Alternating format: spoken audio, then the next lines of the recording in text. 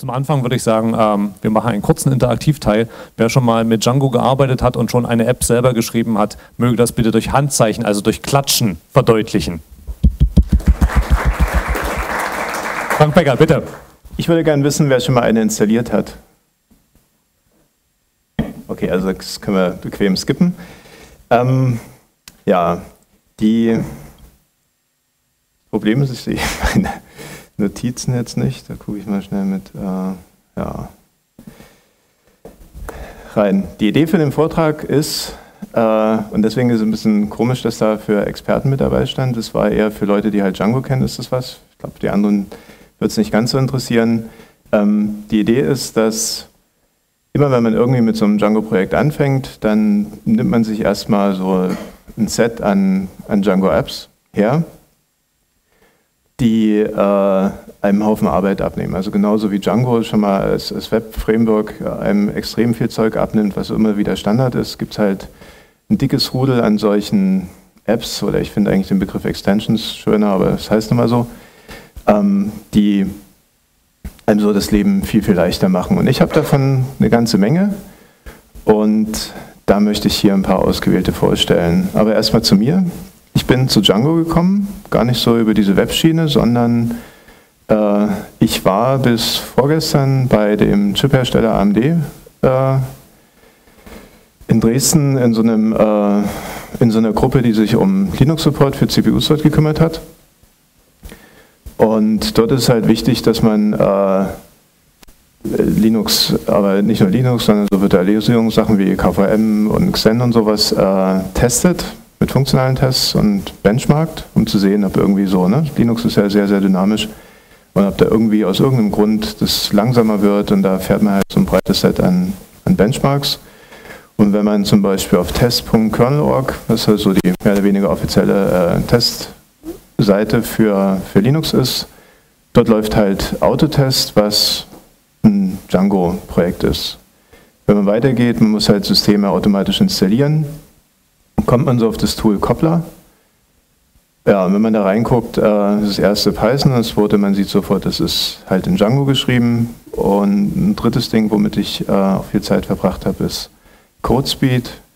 Das ist das Tool, was äh, PyPy, also die alternative Python-Implementierung, äh, immer benchmarkt, damit man halt sehen kann, äh, inwieweit PyPy äh, viel, viel schneller ist als alles andere, was irgendwie so Python macht. Ja, dummerweise hat AMD sich entschieden, äh, mal kurzzeitig, dass wir nicht mehr gebraucht werden und hat halt ja, im Prinzip, äh, also zum, offiziell zum Ende des Jahres ist die ganze Abteilung dicht gemacht worden, aber wir sind ab Montag, also ab vorgestern, beurlaubt worden.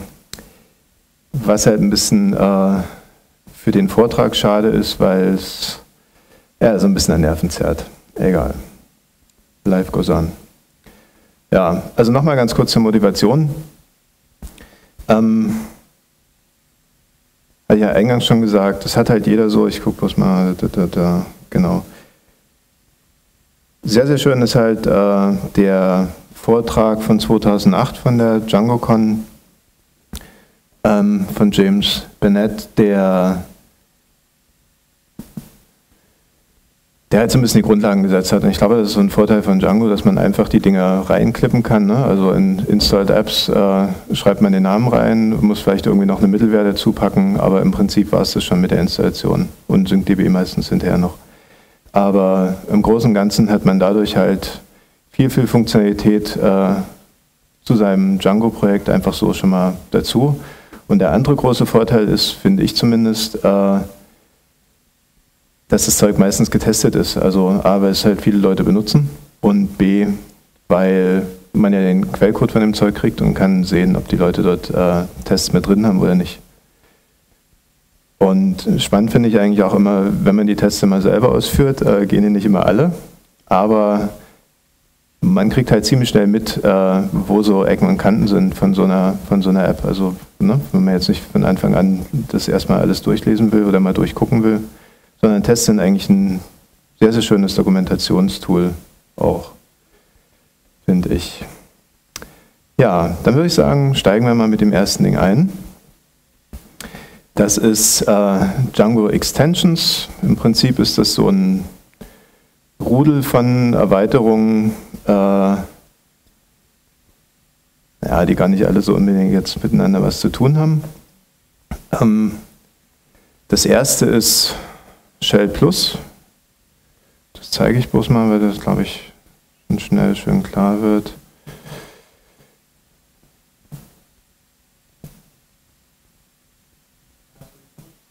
Mache ich. Genau. Nicht alles schon vorbereitet. Aber naja. Und zwar, eins der super Features, die das Ding hat, ähm, das sieht man hier oben. Nicht. Mit dem Grün, ich markiere das mal, da wird der Kontrast hoffentlich ein bisschen besser. Der importiert zum Beispiel alle, alle Models, die man so in seinem Projekt hat. Und das, was ja halt so ein häufiges Ding ist, wenn man hier anfängt, irgendwie äh, mal zu gucken, was in seiner, in seiner App oder so los ist. Also mein erstes ist immer, dass ich jetzt irgendwie anfange, Models zu importieren und das und das. Äh, hat man alles schon. Ne? Also wenn man dann hier so ein, gucken, ob das in der Historie drin ist. Wenn man dann halt hier äh, ja, so eine Abfrage machen will, ne? dann muss man nicht erst Import from und wie war es denn jetzt und so, sondern äh, hat das alles gleich. Das hier oben ist bloß Logging. Das heißt, hier um den Teil geht's. Das ist halt, was ich äh, von dem Ding, von diesem Shell Plus, aber es gibt noch andere Features, die das Ding so hat, äh, sehr, sehr nett finde. Dann gibt es hier eine Möglichkeit, dass ich von einem UML-File äh, meine, meine Models äh, generieren lassen kann. Bin ich noch nicht so der Fan von, aber es geht. Ähm, eine andere schöne Sache ist, äh, wenn man so eine App hat, wo man halt User hat und die dann irgendwie registriert sind und so, und dann kommt man irgendwann mal zu dem Punkt, hm, du müsstest jetzt irgendwie mal das Ding für drei Stunden down nehmen. Äh, wie schreibst du denn jetzt eine Mail? Und dann fängt man halt an, von Users diese E-Mail daraus zu fummeln und irgendwie, das gibt es hier als Shortcut schon mit drin. Das macht dieses Export E-Mails. Also David glaubt mir das, aber. Achso, genau. Also Tipp. Und dann kommt halt die Liste. Kann ich jetzt zeigen, weil die Leute sind alle entlassen. Ähm, ist halt ein sehr, sehr netter Shortcut und das kann das äh, als, als V-Card ausgeben oder in irgendwie so verschiedenen Formaten, aber ich glaube, wenn man das in der Liste hat, dann kriegt man das schon. Ähm, ja, dann kann man sich seine Models hier als Graphis äh, schön, als schönes Diagramm anzeigen lassen. Auch eine nette Sache, äh, ich wollte das Graphis heute früh, weil das hier auf dem Laptop nicht drauf ist, äh, noch nachinstallieren, aber ich glaube, das Rechenzentrum, wo die hosten, ist, glaube ich, gerade unter Wasser. Ähm, Job Scheduling Definite Salary, also das benutze ich nicht, aber das nächste Ding ist äh, richtig cool. Es gibt halt, ich fange vielleicht mal hier oben an mit diesen Field Extensions. Es gibt so Sachen wie so ein Autoslug-Field, also ist bestimmt auch jeder mal reingegangen. Ne? Ich will irgendwie aus meinem Model hier, da gibt es irgendwie so einen Namen und dann will ich den Slug automatisch generieren lassen und wer sowas schon mal implementiert hat, weiß, wie viel, wie viel Bauchschmerzen das sein kann. Slug ist äh, in deiner URL, ist irgendwie so ein Model von, also der Begriff kommt aus, der, aus dem Zeitungswesen, und ist halt irgendwie so ein Kurzwort für irgendwas. Genau. Für, für sprechende URLs benutzt es dann, dass du halt in deiner URL, da wollte ich gerade hinkommen, also ne, das ist dann so dein Model und dann irgendwie den Namen von dem Ding und äh, sowas generieren zu lassen ist anstrengend, weil es den Namen dann mehrfach geben kann und dann musst du da irgendwas hinten dranhängen, dann sind da irgendwelche Umlaute vielleicht drin oder irgendwelche Sonderzeichen, die musst du alle rausfiltern und bla bla. Und naja, da sitzt man eine Weile, bis man das halt wirklich äh, felsenfest implementiert hat, gibt es ja gleich. Das nächste Ding, was ich also, oder was wahrscheinlich jeder immer hat, ist so ein, so ein Time Modified und hier Created File, wo man dann Save überschreibt und wenn das jetzt nicht ist und dann mach mal, das gibt es hier gleich mit drin. Äh, UUID-Felder hat man auch ganz häufig, ne? also dass man irgendwie so einen anderen äh, Identifier irgendwie braucht in seinem Model hängt man da einfach mit rein. Womit ich noch nichts gemacht habe, sind, die haben auch so äh, Encrypted äh, Character Field, dass man halt in seiner Datenbank äh, verschlüsselt Sachen ablegt und hat man dann im Verzeichnis irgendwie Keys. Keine Ahnung, was davon jetzt irgendwie äh, besser ist, aber naja, die werden sich was dabei gedacht haben. Und dieses äh, Timestamped Model ist halt so eine Abstract Base Class. Das heißt, wenn ich nicht von Models Models erbe, sondern von diesem Timestamped Model, dann habe ich ein Created und, und Modified gleich als Feld mit dabei und habe überhaupt gar keinen äh, Schreibaufwand. Das nächste Ding, auch sehr cool, ist Print Settings. Vielleicht mache ich das mal. Äh,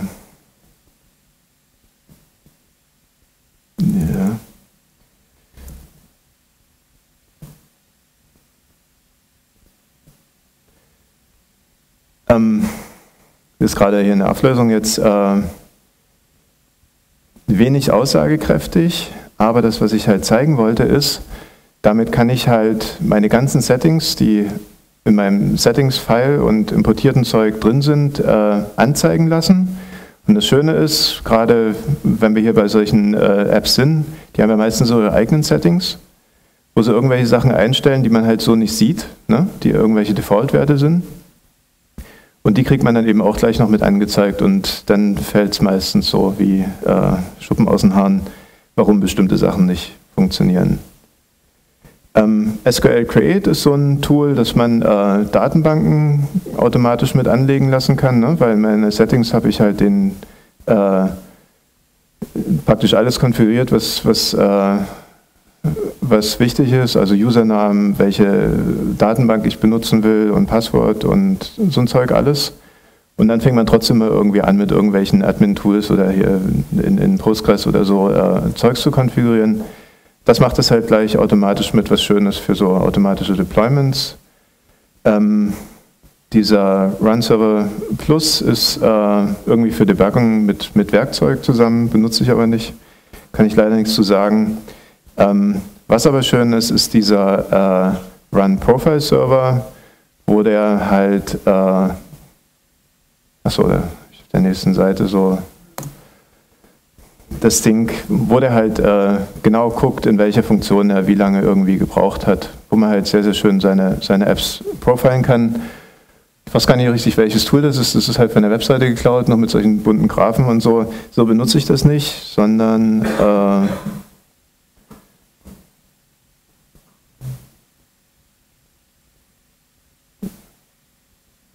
Achso, das ist ein anderes.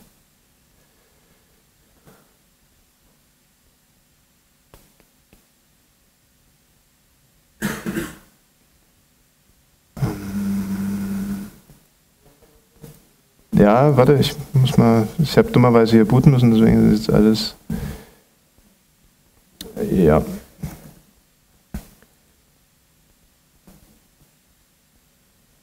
Also ich habe das damit schon mal laufen lassen und äh, ach ja, nach Booten ist natürlich slash tmp weg. Egal. Also ne, man kriegt dann auf der Konsole äh, genauso schön angezeigt, halt in, in, an welcher Stelle des Codes der wie lange gehangen hat. Sehr aufschlussreich, oft. Ähm, ja. Kurz noch eine Frage dazu. Also das war Django Extensions.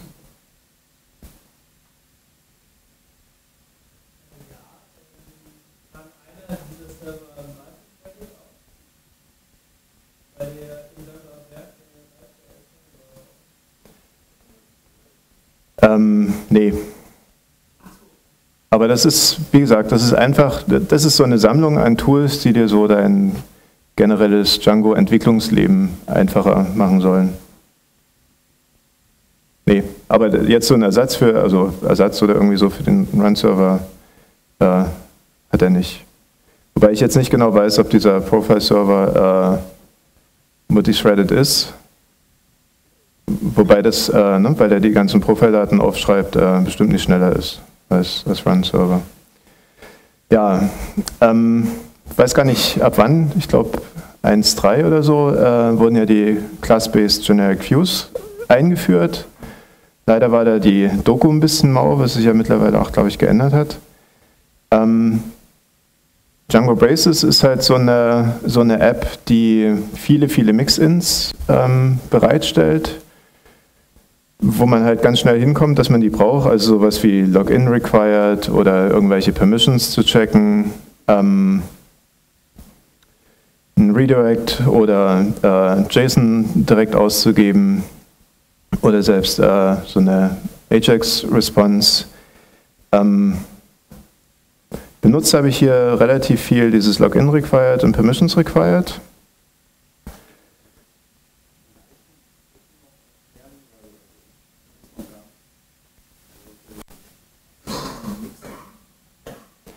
Okay, also Class-Based Generic Views ähm, ist so der Nachfolger von diesen Generic Views, wo du dir irgendwie eine Liste ausgeben kann, lassen kannst von irgendwelchen Objekten und gibst dann so ein Template dazu an und dann wird das halt da reingerendert. Und dann kannst du anklicken, ich will jetzt Page, äh, Pagination äh, mit drin haben und dann macht er sowas. Und das war so, ich glaube,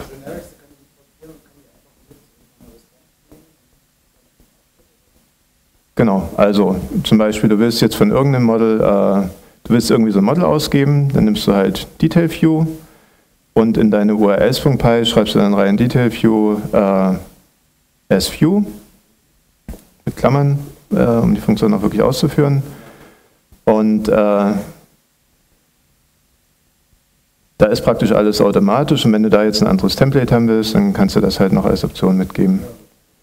So, und der Riesenvorteil von diesen, äh, weil es halt klassenbasiert ist, dass du halt äh, sogenannte Mix-Ins, also dass du kleine Teile reinerben lassen kannst. Das wird auf der nächsten Folie klar.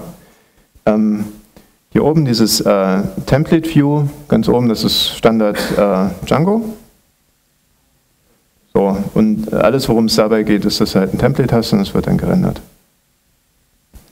Und Jetzt kannst du dir von Braces äh, so ein Login Required und Permission Required Mix-In mit dazu nehmen und dann fängst du halt an, hier dein, äh, deine äh, View-Klasse zu schreiben und machst erstmal dieses Login Required mit rein und dann Template View ne? und aus dem MRO kommt halt raus, dass er äh, das Login Required zuerst nimmt und dann Template View, dann gibst du hier das Template, den Template-Namen an und dieses Get hier unten brauchst du schon nicht. Das ist, äh, das ist im Prinzip alles. Und in deinem äh, in deine URLs.py äh, schreibst du dann halt rein äh, somesecretview.sview und äh, das Ding wird gerendert. So, und worum du dich jetzt halt nicht mehr kümmern musst, ist, dass halt der User authentifiziert sein muss.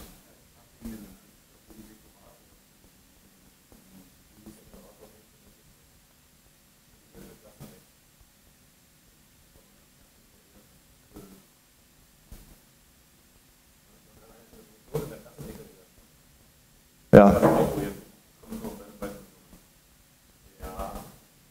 Also ich wiederhole es mal ganz schnell für die Aufzeichnung. Äh, der Einwand war, äh, die Dekoratoren funktionieren nicht mehr für, für Klassen. Klar, aber ich kann natürlich so einen Decorator über eine Methode setzen, dann, dann geht das auch wieder.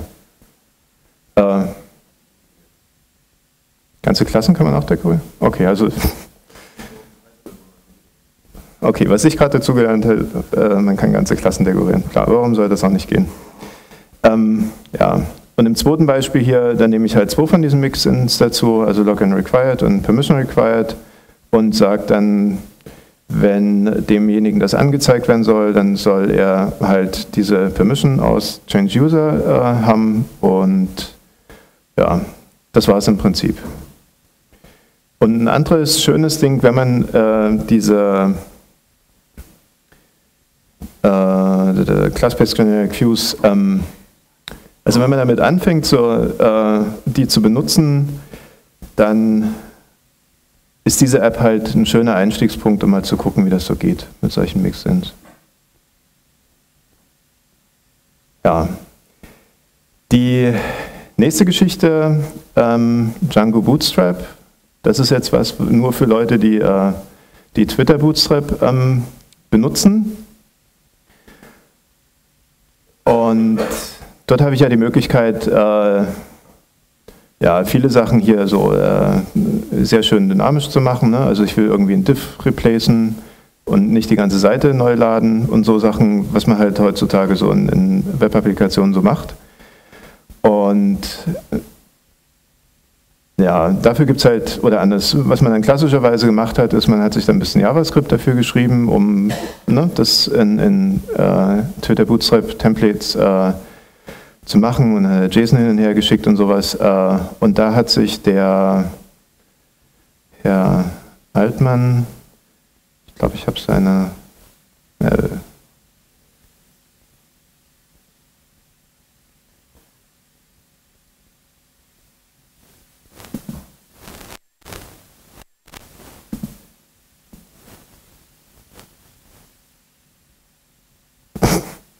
Das ist eine echte Apple-Show hier. Safari abgeschmiert, das ist schon nicht schlecht. Achso, das vielleicht, das wollte ich am Anfang noch sagen. Äh, Markus hier vorne und ich, wir machen so einen Podcast, was man nur kurz sehen konnte, Importisten. Okay, dann lasse ich es. Äh, super, das Apple-Zeug. Ähm, äh, wir machen seit Anfang des Jahres so einen Podcast Import-This. Aktuelle Episode ist über Sphinx. Wir hatten aber auch schon Anna über Django 1.4, also wer gerne Podcast hört, äh, kann ja gerne mal reinhören. Ähm, okay, dann mache ich das hier. Wir waren bei Django Bootstrap. Äh, das, was ich hier oben habe, ist so eine View-Funktion, wo ich dann halt bloß sage, äh, if request is Ajax, dann gebe ich hier im Prinzip mein Template an, und äh, herauskommt dann äh, als JSON mein Stückchen HTML, was ich halt in meinem Bootstrap-Template äh, automatisch ersetzen lassen kann, ohne irgendwie jetzt eine Zeile äh, JavaScript geschrieben zu haben. Ähm, okay, und wenn das nicht ist, also das, was ich gerade auf der Webseite zeigen wollte, wo hier oben der, der Link zu ist, äh, das ist halt wieder mal so der tausendste Twitter-Nachbau. Ähm, und wenn es halt kein Ajax ist, dann gebe ich hier halt das Form aus und renne halt das, das ganze Ding. Das heißt, ich gebe hier unten alle äh, Messages aus. So, wie sieht das Ganze in dem Template aus? Das ist hier unten. Block hier passiert aber nicht viel. Eigentlich sind es nur diese zwei, zwei Includes hier unten. Und ganz unten, darum muss ich mich halt kümmern, das kommt in, dem, äh, in der App mit das Stückchen JavaScript, also dieses Bootstrap Ajax.js, das muss ich halt mit äh, in meinem Template importieren. So, und diese anderen zwei Templates, die unten sind, also Unterstrich Message Form und Unterstrich Message List, die sieht man jetzt hier. Ähm, das ist im Prinzip alles. Ich muss oben diese Data Refresh URL, also ich bin jetzt in dem oberen Ding, die Maus ist weg. Ähm, ich muss halt diese Data Refresh URL angeben, das ist, wo halt mein View drauf äh, zeigt. Und ja, um den Rest kümmert sich das Ding dann selbst. Ähm, ja, und unten habe ich halt das, das Form, was als Ajax dann äh, gerendert wird. Der das, was man halt beachten muss, ist hier, dass man Form auf S-Bootstrap dann piped, was aus den äh, Bootstrap Template Tags kommt. Und das benutzt dann auch gleich die ganzen hier äh, Twitter Bootstrap äh, Template CSS Geschichten. Also für Leute, die jetzt nicht hier gleich mit Backbone JS und so ein Zeugs anfangen wollen, was es immer noch so gibt, das ist eigentlich eine schöne, leichtgewichtige Sache wenn man halt einen Twitter Bootstrap benutzt. Django Secure wollte ich mal mit ähm, ansprechen, kostet nichts und das Ding guckt halt die Django-App durch, ob so bestimmte Sachen äh, eingeschaltet sind und ein paar Tweaks macht sie eben auch selbst noch mit. Ähm, also Secure SSL Redirect ist klar, ne? dann mache ich halt alles über SSL. Das HSTS ist halt, da kann der Server sagen, lieber Client, mach bitte nur SSL zu mir. Und das stellt das ganze Ding eben sicher. Da gibt es ein Timeout dafür und sowas. Ähm, naja, und so ein paar andere Einstellungen, die man hier mitmachen kann. Ähm, und die schöne Sache ist, man kann halt in seinem Python Manage Check Secure, also kriegt man als äh, Manage.py äh, Optionen dann mit dazu und dann geht das Ding durch, guckt sich alles an und nölt halt die Sachen, die nicht gut sind, rot an. Also ich habe jetzt hier Secure äh, HSTS Seconds nicht äh, konfiguriert und so ein paar Sachen. Und wie gesagt, das ist äh, leicht konfiguriert und macht halt so die, die App, wenn man sie im Internet hat, ein bisschen sicherer. Ähm, wer hier hat noch nicht mit South gearbeitet? Okay, dann erkläre ich es mal. Äh, das ist so das erste Ding, was also sowas in der Art könnte eigentlich bei Django gleich mit dabei sein. Ähm, es geht darum, wenn man seine Models schreibt, dann verändern die sich ja so im, Laufe der Zeit und man muss dann das äh, Datenbankschema migrieren. Und wer wenig Bock auf SQL hat, wie ich zum Beispiel, der äh, fängt dann irgendwann mal an für seine, für seine App mit der oberen Zeile hier äh, Schema Migration App minus minus init und fängt, dann legt er halt so ein Verzeichnis in der App, in der App ab, äh, das dann Migrations heißt und dann kann ich halt mit, äh, mit äh, äh, Migrate und dann den App-Namen äh, diese Schema-Migration immer einspielen. Und ich sage mal so, zu 95 Prozent läuft das auch super.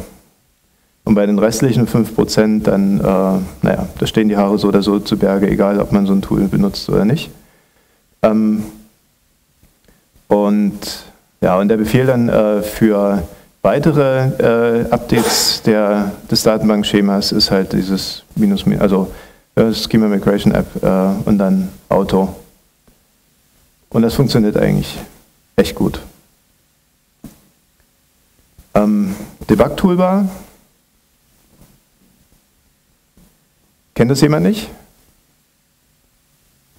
Okay, ist also auch so ein, so ein Klassiker, der, was kann ich vor drei Jahren oder so auf so einer DjangoCon äh, abends bei dem, gerade den Namen nicht hier, äh, wo so ein Hotelzimmer entstanden ist, ist eine super Sache, wenn man, oh, das muss ich zeigen, also ich probiere den Safari nochmal. Vielleicht mag der das bloß nie. Ja, sieht schon besser aus. Muss ja bloß mal ein Ding starten. Nee.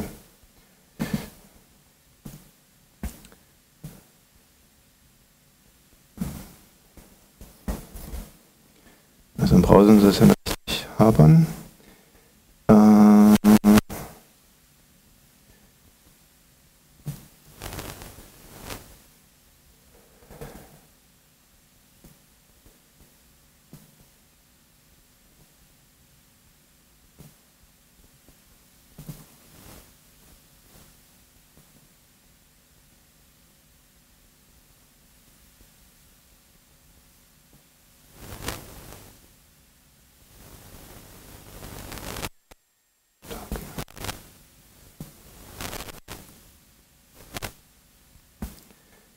ähm, ich mache es mal ein Stück größer.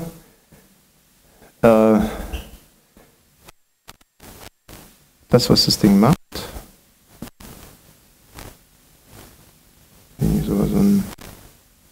Ah doch, das ist glaube ich groß genug. Ähm, man kriegt hier oben diese äh, Django Debug Toolbar und das Ding zeigt jetzt halt so verschiedene Sachen an, zum Beispiel wie lange hat der View gedauert, äh, meine ganzen Settings von der App, äh, auch immer ziemlich interessant die äh, HTTP-Headers, Request-Variablen, auch sehr schön, äh, welche Templates äh, habe ich hier gerade benutzt, das SQL, ähm, welche Signals gefeuert haben, ähm, okay, hier das nicht konfiguriert in Logging. Und für die Leute, die jetzt äh, Django Debug Toolbar wirklich kennen, die werden sich wundern, unten für Cache, das ist hier leider jetzt nicht mit drin, das ist noch wieder eine Erweiterung für diese äh, Debug Toolbar, das ist das Django Cache Panel, ähm, wo ich halt für, da muss ich spicken, auf jeden Fall Redis, Memcache und PyLib MC äh, meine ja, Statistiken halt drüber kriege. Das ist aber, glaube ich, äh, dann interessant, wenn ich, ähm, also für, für äh, Produktionsumgebung, wenn ich halt Memcache verwende oder so und sehen will, wie effizient ist denn das Ganze. Ähm,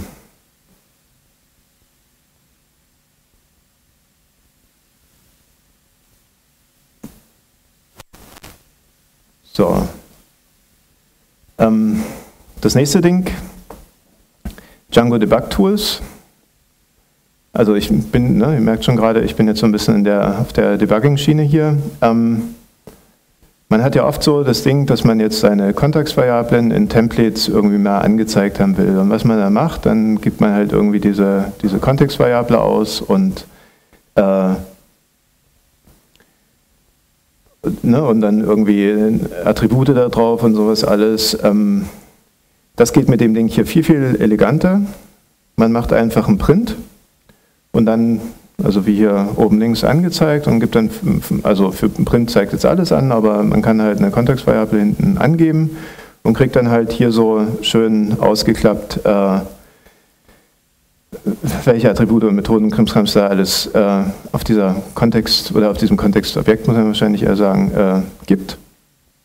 Und das Beispiel ist aus, aus Django CMS, äh, aus so einem Menü-Eintrag und wenn man da halt irgendwie gucken will, ah, wie hieß denn da jetzt irgendwie, was weiß ich, wie ich äh, auf ja, irgendwie Menü-Level oder irgendwie sowas komme. Also ich vergesst es dann immer und bevor man das dann irgendwie lange mit einem Debugger oder darum probiert oder so, äh, ist es eine relativ schöne Möglichkeit, hier an seinen Templates dran rum zu debuggen. Äh, was ich nicht ausprobiert habe, ist dieses X oder halt anders. Ich habe das diese Debug-Tool schon lange verwendet, habe nochmal nachgeguckt, was es noch so kann. Und da kam diese XView-Mittelware mit rein, wo man angeblich in äh, in, äh, ja, ist das von, also dieses äh, Firedebug, hier dieses ähm, Firefox Debugging Tool, kann man sich dort mit einklinken. Hat aber nicht funktioniert auf Anhieb und man kann sich über jQuery auch Debug-Informationen mit ausgeben lassen. Noch ein Stück JavaScript, JavaScript mit einbinden. Äh, was ich aber sehr, sehr viel verwende, ist halt dieses Print, um einfach mal schnell nachzugucken, äh, was passiert denn da gerade in meinem Template oder warum gehen bestimmte Sachen so nicht. Weil das Dumme ja in Templates ist, äh, wenn es irgendwie eine Kontextvariable nicht gibt, dann wird das ja alles immer stillschweigend weggefressen und ja, es kommen leider keine schönen Exceptions. Ja, das nächste Ding auch noch so zur Debugging, das ist jetzt keine Extension, das ist ein ganzes äh, Django-Projekt von den Discuss-Leuten, also die diese hier äh, Kommentarfunktionen so für viele Webseiten anbieten. Ähm, man hat ja, also äh, Django hat ja eine relativ gute Möglichkeit, so Logging zu konfigurieren mit allen möglichen Sachen, dass man sich irgendwie eine E-Mail schicken lassen kann, wenn irgendwie ein 404 gekommen ist, so, also bloß als, als Beispiel. Und dann kriegt man halt diese vielen E-Mails. Ähm, schöner wäre, das Ganze halt wieder irgendwo auf einer Webseite gesammelt zu haben. Ne? Man könnte jetzt auch mit Syslog solche Sachen wegschicken, aber dann hat man auch hinterher, also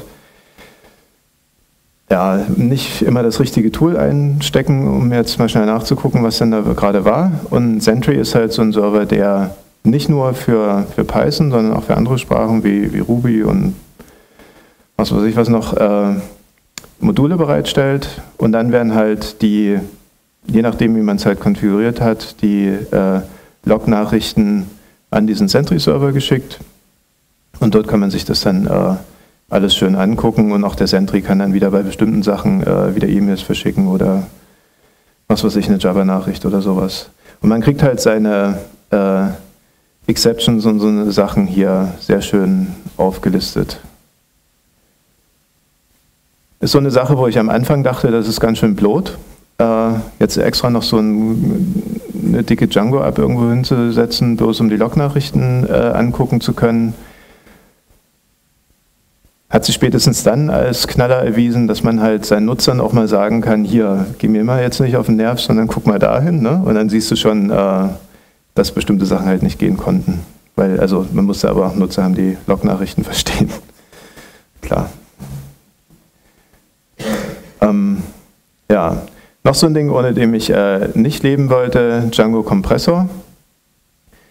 Ähm,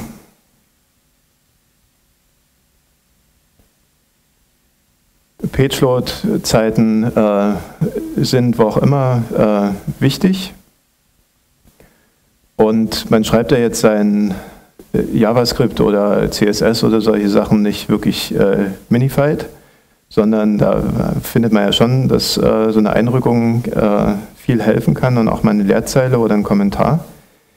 Ähm, und Worum man sich aber nicht kümmern will, ist jetzt, dass aus seiner, aus seiner App das Zeug gerade im Produktiveinsatz äh, halt komprimiert oder halt minified äh, angeboten wird. Und darum kümmert sich Django Compressor. Da gibt man halt einfach oben an seiner, in seinem äh, Header äh, so ein Template-Tag ringsrum an. Also hier ist es zum Beispiel oben äh, in dem oberen Feld äh, Eins, zwei, drei. Vierte Zeile Compress CSS. So, und der aufmerksame Leser wird schon erkannt haben, dass es gar kein richtiges äh, CSS ist, sondern SCSS.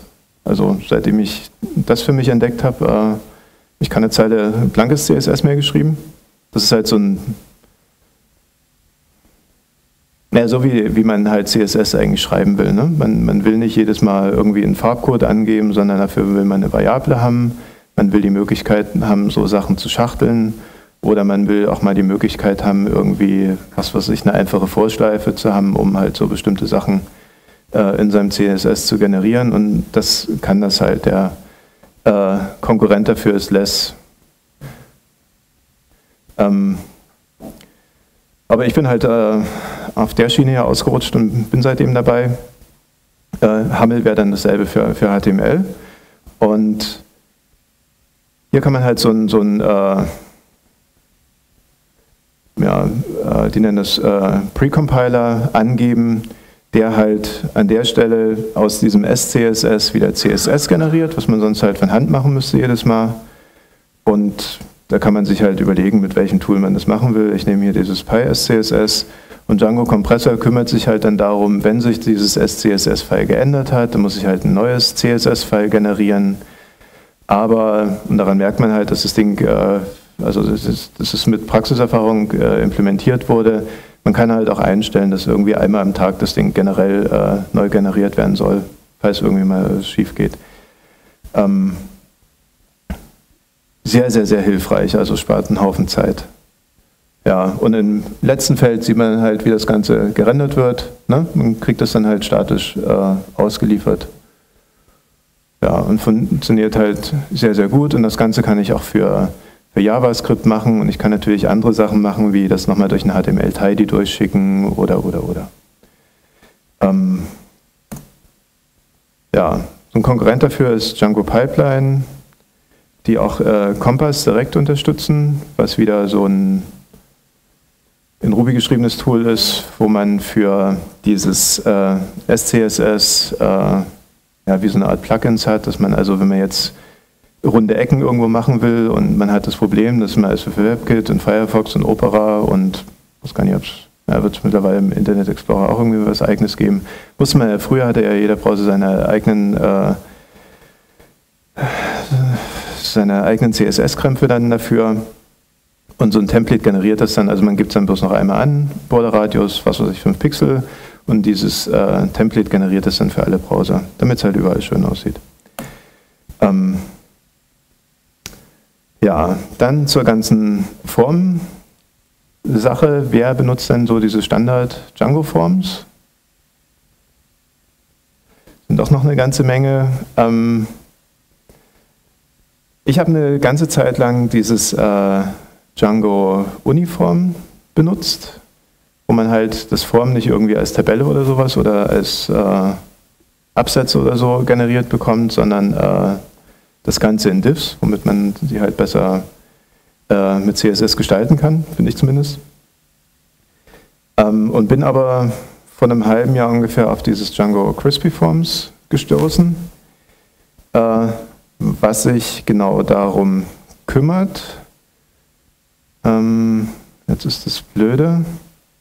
Also ein Hinweis dazu, hier oben die, die URL, wer viel mit Forms macht, das ist ein sehr, sehr guter Vortrag gewesen über so, wie man halt äh, in, in Django Forms benutzt, effizient Forms benutzt. Und die verwenden halt dort auch dieses Django Uniform und dann noch eine App, die ich dann gleich noch zeige. Ähm, ich muss jetzt mal ganz kurz hier eine URL rausholen.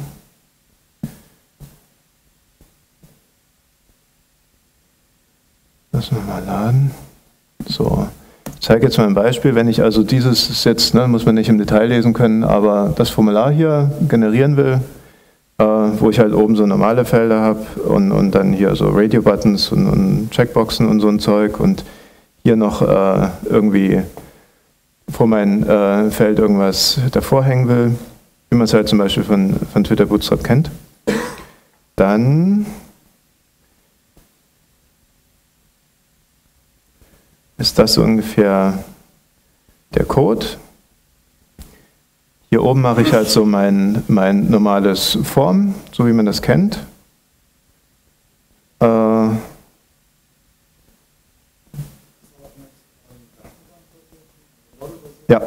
ja, geht auch mit Model Forms. Genau, geht auch mit Model Forms und äh, dann schreibe ich hier meine äh, mein Formhelper-Objekt und da setze ich mir jetzt aus oben, aus diesen ganzen Feldern mein, mein Formular zusammen, also viel Text-Input, das ist das, was ich oben hatte. Das ist das hier. Und ja, man kann jetzt hier zum Beispiel so eine CSS-Klasse mitgeben. Äh, das war das Text Area, das sind die Checkboxes. Hier kann ich äh, mit Appended Text halt noch was hinten dran schreiben. Das ist, konnte man hier nicht richtig erkennen wegen Nachlösung, also so ein Punkt 00. Oder ich kann halt was prependen und ja, und unten kommen noch meine Buttons. Ja, und dann ist halt mein, mein äh, Form fertig und das ist halt, wie ich das in meinem Template hier einbinde. So, und hier unten ist noch die, die View-Funktion dafür. Könnte jetzt hier. Naja, ich würde sagen, wir machen mal weiter. Ich könnte jetzt hier, also, falls es noch jemand interessiert, ich könnte ja noch so ein anderes aus dem realen Leben mal zeigen. Ich mache es hinterher, ne? wenn wir Zeit haben. Okay?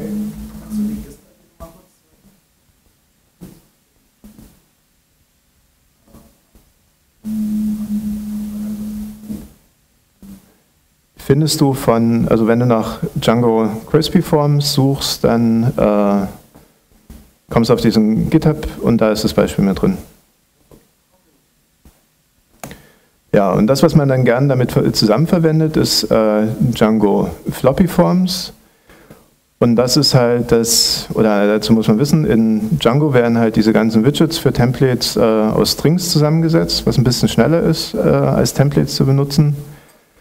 Ähm, aber der Unterschied zwischen Django Floppy Forms und ich glaube dem nativen Django ist irgendwie eine Millisekunde zu anderthalb oder zwei Millisekunden so. Also okay, man könnte jetzt argumentieren doppelt so lang, aber der Unterschied zwischen einer und zwei Millisekunden ist ich nicht so. Und wenn man es dann versucht irgendwie zu cachen, dann äh, ist das und so alles wieder hinfällig. So, und dort werden halt diese Template-Widgets als, äh, die gehen halt über normale äh, Django-Templates was ein Riesenvorteil ist, weil man sich die Dinge so anpassen kann, wie man sie will. Und die haben halt so ein verschiedene, also verschiedene Sets äh, schon, schon fertig. Die haben halt, klar, ne, HTML5 Widgets drin, was man halt heutzutage so will. Ähm, und die haben auch diese Uniform-Widgets drin und auch die, die Twitter Bootstrap. Das kann man halt in der Settings-Py dann konfigurieren. Ja, und alles, was man machen muss, um die Dinger zu verwenden, ist, dass man halt nicht äh, vom Django Import Forms macht, sondern from Floppy Forms oder Import Floppy Forms as Forms. Ja, und dann kann ich, ne, oben wo ich meine Forms definiert habe, äh, das einfach daraus benutzen. Und wie gesagt, Crispy Forms und Floppy Forms zusammen ist so, glaube ich, momentan zumindest meine Wahl. Ja, Django TastyPy. Äh, für Leute, die restvolle APIs schreiben wollen oder müssen, ähm, kann man echt nur empfehlen, das Ding. Äh, glaube nicht, dass man da irgendwie groß an die Grenzen stößt mit dem, was man äh, so irgendwie, also wo man irgendwie mal Gefahr läuft, auch ein paar abgefahrene Sachen machen zu müssen. Das habe ich bisher damit immer sehr, sehr gut hinbekommen. Ähm, deswegen Batteries Included. Eine kleine Warnung vielleicht, die sind jetzt irgendwie bei irgendwie einer Version 1.0 Beta irgendwas, also offiziell heißt es aber noch 0912, glaube ich. Und so ein paar Sachen ändern sich dann auch manchmal. Also wenn man da ein Git-Pull macht und ist es wichtig, dass man für die Sachen äh, Tests hat. Ähm, bloß mal ganz kurz hier als Beispiel. Äh, man macht sich dann also so ein API.py und importiert dann sein, sein Model. In dem Beispiel ist es hier Entry. Und äh, das, was ich dann äh, machen muss, ich äh, mache mir dann eine Klasse und äh, erbe von Model Resource, was aus äh, TCP Resources kommt und gebe dann halt noch so ein Query-Set an und im Prinzip war es das. Das Ganze muss ich dann noch in, in urls.py konfigurieren und habe dann äh, per Default zumindest äh, kann ich dann alles lesen.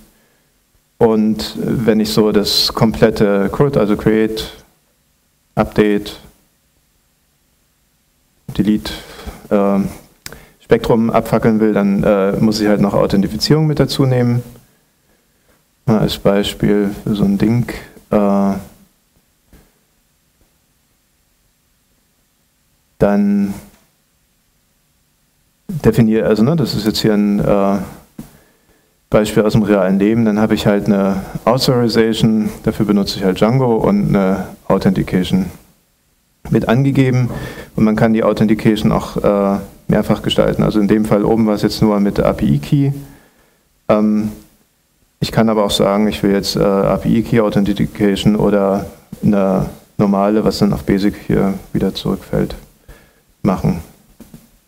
Sehr schön. Und wenn wir dabei sind, ähm, wenn ich jetzt nicht eine Ressource von einem Model nehmen will, dann wird es ein bisschen komplizierter. Dann muss ich mir so ein äh, Bundle machen, äh, wo ich praktisch so meine ganzen Daten und halt so ein paar Methoden äh, drin habe. Und von dem Bundle kann ich mir dann wieder so eine Ressource machen.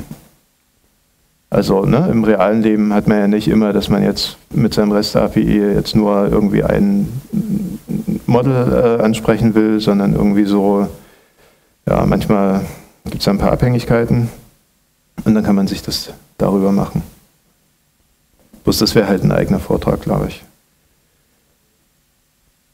Ja. So, und dann hat man natürlich oft auch das Problem, dass man auf der Gegenseite äh, damit reden muss also mit so einem äh, RESTful API. Und da gerade zum Testen habe ich dieses TCPy Query Set Client benutzt, wo ich halt mir hier so einen, so Client mache, also das ist auch aus der Doku hier das Beispiel, ähm, und kriege dann halt die Sachen. Hier ein Beispiel für, wenn ich Objekte zählen will oder wenn ich halt irgendwie was filtern will. Ja, und wer sich da irgendwie mit Curl oder sowas äh, mal durchgehangelt hat oder selbst wenn es äh, Requests ist, das Python-Modul-Request, äh, das dauert schon ein bisschen länger, bis man das dann implementiert hat. Ja. Ein anderes Ding, was so bei mir in der Standardauswahl äh, mit drin ist, ist Reversion. Das heißt, wenn ich über den Admin, wo wir vorhin gerade den, den Vortrag zu hatten, äh, meine Datenobjekte irgendwie ändere, dann hat man ja immer so das Problem, ah, das war jetzt Mist, ich will doch wieder zurück oder wie war denn das vor fünf Jahren? Ähm, ja, damit hat man das halt erschlagen und man sieht halt gleich, was geändert wurde und äh, vor allen Dingen, wer es geändert hat. Ist auch dann immer so eine Diskussion, ich war es nicht, ich war es nicht. Ja. Naja, dafür gibt es ja auch dann die Beziehung. Ja, zwei Sachen, die ich bloß vom Namen her nennen will. Das sind äh, Django SSE für Server-Send-Events, also wenn ich vom Server aus zum Client äh, irgendwelche Updates schicken will oder wenn ich äh, WebSockets verwenden will, dann Django Socket.io, wobei das gerade ziemlich stark in der Entwicklung ist, weil die von äh, Socket.io auf eine neuere Version switchen. Ja, Celery ist ja so ein, äh, ja, wie nennt man das richtig, so ein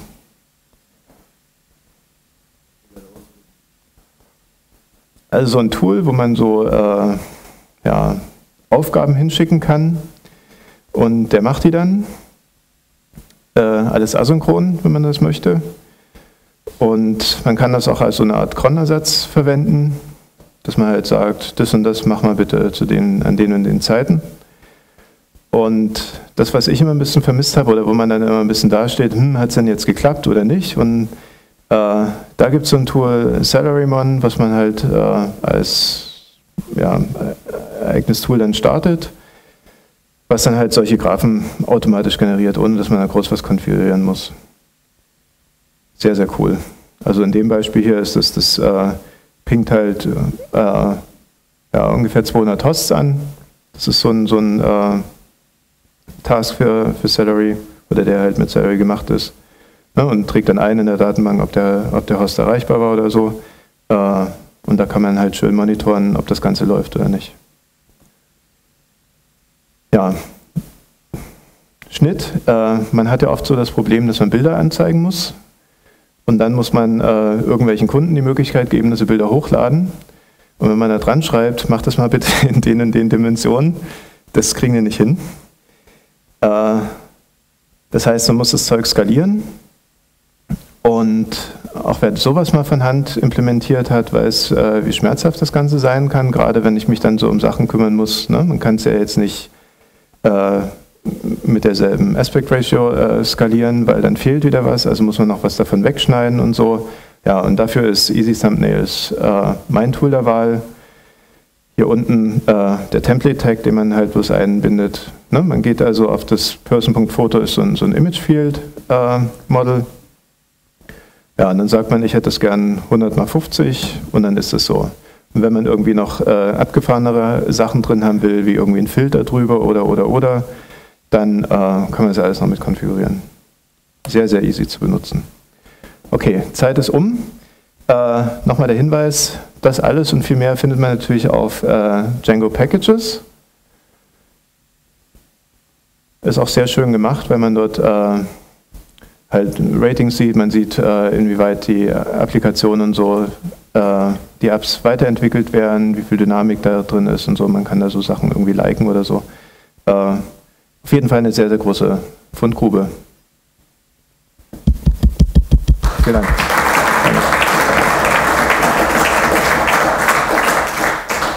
Vielen Dank. Ich persönlich habe während dem Vortrag äh, unser Wiki, unser firmeninternes Wiki mit weiteren Links gefüllt. Also war sehr gut. Ähm, äh, laut der Uhrzeit gibt es jetzt schon Mittagessen. Ähm, deswegen jetzt schon der Hinweis, wenn ihr rausgeht, denkt an die Bierdeckelchen. Ich bin mir da relativ sicher, dass wir da nur Weiße reinschmeißen heute. Ähm, ja, Fragen, Anmerkungen, Wünsche, Bemerkungen. Fangen vorne an. Dankeschön. Ähm, erstmal vielen Dank für den Vortrag. Ich habe auch einen Haufen Links mitgeschrieben und ein paar Probleme werden dadurch wahrscheinlich gelöst, die ich so habe als unerfahrener Django-Entwickler, der so gerade so am Hobbyprojekt schrauben ist. Ähm, hast du Erfahrung mit der Registration-App? Ja. Okay. Gut, ähm, dann würde ich gerne dich nochmal was fragen, weil ähm, erstmal. Also, äh, was hast du Erfahrung? Ich habe die in einem Projekt mal mit eingebunden mhm. und dort läuft die seit drei Jahren. Okay, alles klar. Ich traue mir gar nicht zu sagen, welches das ist, weil ich das auch seitdem nicht mehr geupdatet habe. Ja, okay. ähm, BitLove, ist das auch ein Django-Projekt? Also dieser Podcasting-Feed-Verteilmaschine? Ich kenne den äh, Entwickler von BitLove.org und das Problem, also BitLove ist so ein, ich fange vorne an. Podcasts haben das Problem, wenn man Podcasts produziert, man gibt so ein Ding neu raus und dann saugen alle, ist die Leitung dicht, alle sind frustriert und drei Tage später ist wieder Ruhe auf der Leitung. So. Und für, genau für die Sache ist halt BitTorrent das genialste äh, Protokoll überhaupt. Das heißt, man verteilt das Ganze, alle sind glücklich. Und jetzt ist das Problem, dass die ganzen Podcast-Clients, alle außer Miro, was glaube ich auch in Python geschrieben ist, äh, kein BitTorrent unterstützen. So, und das ist alles so ein bisschen Henne-Ei-Problem. Bei, wenn wir schon bei, bei Apple sind, äh, die finden ja BitTorrent irgendwie ganz böse und äh, erlauben das nicht in ihren tollen App Stores. Das heißt, man wird wohl auf die nächste Zeit noch das Problem haben, dass man äh, nicht per BitTorrent auf dem Client runterladen kann und damit ist leider diese Seite bitlove.org für die Leute hilfreich, die irgendwo ihren äh, BitTorrent-Client laufen haben und dann von dort ziehen. Und das, was ich mal angefangen hatte, vor einem Monat ungefähr, ist halt eine Django-App zu schreiben, die Feeds von BitLove, äh, wo man Feeds von, von BitLove äh, subscriben kann. Und wenn da jetzt irgendwie was Neues kommt, dann lädt er das äh, per BitTorrent runter. Das mache ich mit Transmission RPC, RPC und äh, mit so einem Transmission Daemon, also als, als BitTorrent äh, Client an der Stelle. So, und wenn das fertig ist, generiert er wieder RSS-Feeds, wo ich mir das dann von meinem Server äh, mit entsprechender Bandbreite meine Podcasts runterladen kann. Und dann werden RSS-Feed noch die ganzen äh, Metadaten, also Shownotes und Bildchen und Tatütata vom äh, Upstream mit angeboten. Das war das Ding und das, wie gesagt, ich habe jetzt Zeit für sowas. Äh, das wird bestimmt demnächst fertig.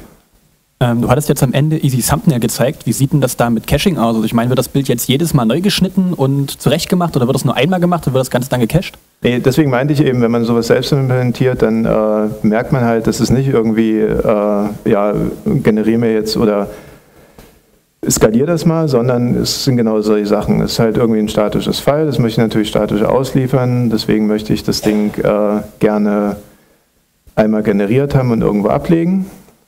Darum kümmert sich's und wenn ich das Bild update, dann will ich natürlich auch nicht den alten Thumbnail haben, sondern den neuen. Darum kümmert sich's auch. Ja. Also es sind dann, es legt es als statische Files ab, äh, ändert den Link und liefert das dann halt statisch aus. Ja, weitere Fragen? Alle Fragen beantwortet, beziehungsweise genügend URLs gegeben, wo man sich weitere Antworten holen kann. Dann würde ich sagen, danken wir nochmal. Na gern. Und